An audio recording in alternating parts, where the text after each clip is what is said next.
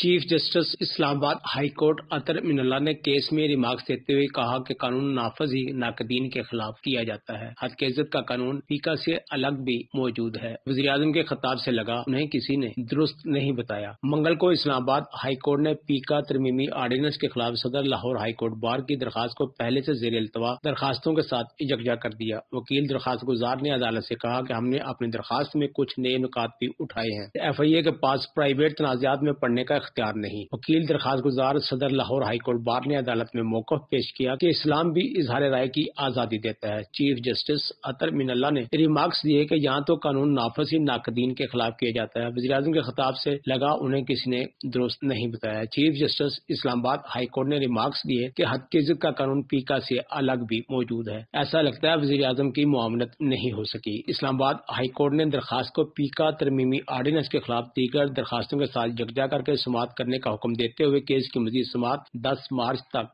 मुलतवी कर दी